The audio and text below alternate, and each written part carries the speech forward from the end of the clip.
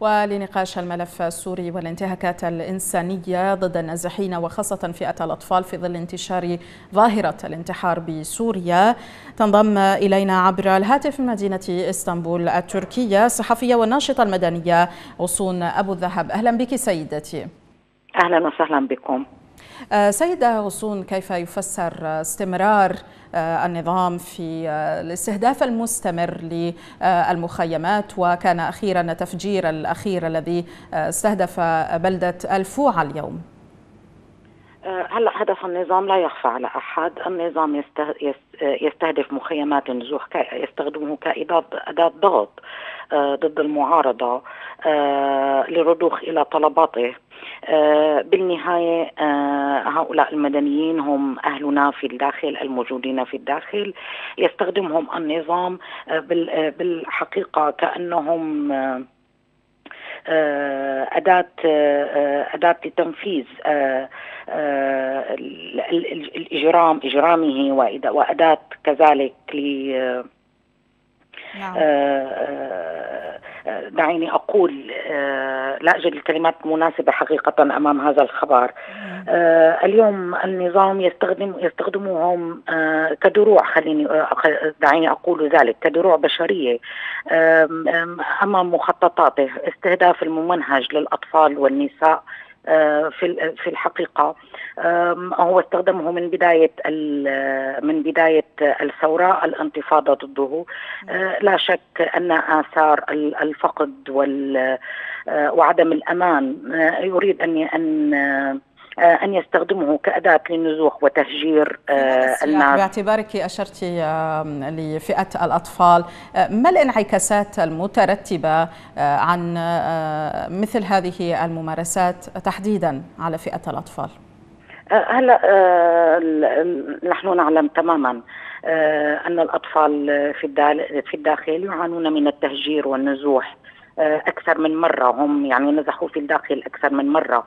من مكان إلى مكان هربا من القصف الممنهج للنظام وروسيا. وذلك ترك عليهم آثار عديدة منها الفقر منها عدم الإحساس بالأمان ترك لديهم آثار نفسية شديدة.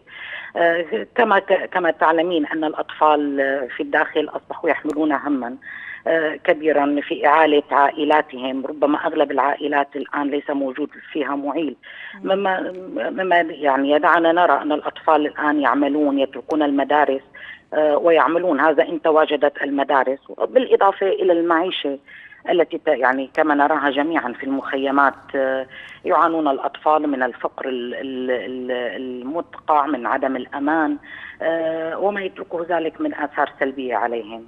حذرت منظمة انقذوا الأطفال من ظاهرة انتحار الأطفال وقالت إنهم بين كل 246 شخصا منتحرا خمسة من المنتحرين بينهم طفل واحد. ما دواعي انتشار مثل هذه الظاهرة في سوريا؟ هلا لابد أن ظاهره الانتحار ظاهرة الآن أصبحت منتشرة للأسف الأطفال يحملون أعباء كثيرة اليوم بالإضافة إلى ان أن يعني وضع الأطفال وعدم إحساسهم بالأمان وشعورهم الدائم أنهم تحت القصف والضرب هذا يؤثر على على على أمانهم الشخصي بالإضافة إلى إلى خوفهم من فقد عائلاتهم وما يؤدي إلى ذلك من هموم أخرى لديهم، اليوم لم يصبح هم الطفل هو الأكل والشرب وذهابه إلى المدرسة، أنت تعلمين تماما أن اليوم الأطفال الذين يتعرضون للقصف يرون أقرانهم الذين تعرضوا إلى قصف سابق ربما يترك لهم عاهات دائمة. وعدم ذلك ما يترتب على ذلك من من فقدانهم لمنازلهم من أسرهم من الحياة من المعيشة الكريمة من الحياة الكريمة. كل ذلك مجتمع قد يدفعهم للانتحار. يعني عدم وجود الأمل للأسف يسيطر على حياة أطفالنا وذلك يدفعهم غالبا للانتحار ما هو دور المنظمات الدولية والمجتمع الدولي ككل حيال حماية حقوق الأطفال وكذلك الحفاظ على الأمن للنازحين الذين يسكنون في المخيمات؟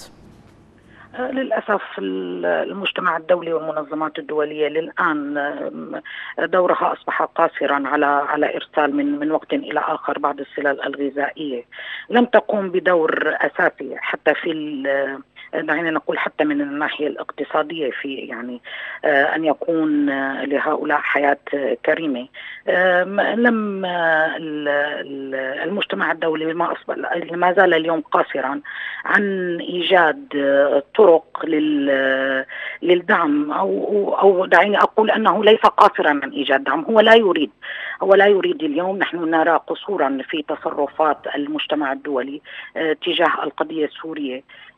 فمن الناحية السياسية لا نجد هناك حل سياسي يرضي جميع الأطراف وكذلك من الناحية العسكرية هو اليوم لم يقوم بخطوات جدية لمنع القصف عن المخيمات اللاجئين وعن استهداف الأطفال والنساء.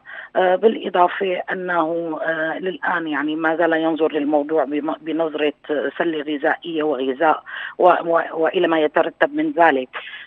للأسف اليوم بالمناطق الخارجة عن سيطرة النظام لن نجد هناك أي مشاريع تنموية حقيقية تكفي الناس حاجة السؤال وكذلك يعني تدعهم يعيشون في كرامة تدعهم يعملون في في بكرامتهم ويجدون عمل مناسب بالإضافة لمواضيع كما حكينا اليوم إنه ليست الموضوع فقط هو موضوع غذاء ولكن هناك مجموعة من من المجموعة من العوامل على المجتمع الدولي اليوم كان أن ينظر لها مثل مواضيع تعليم الأطفال مثل القضايا الموجودة بالداخل التي تتعلق بالنواحي الاقتصادية والصحية وغير ذلك. شكرا جزيلا لك الناشطه المدنية غصون أبو الذهب حدثتنا عبر الهاتف من مدينة إسطنبول التركيه.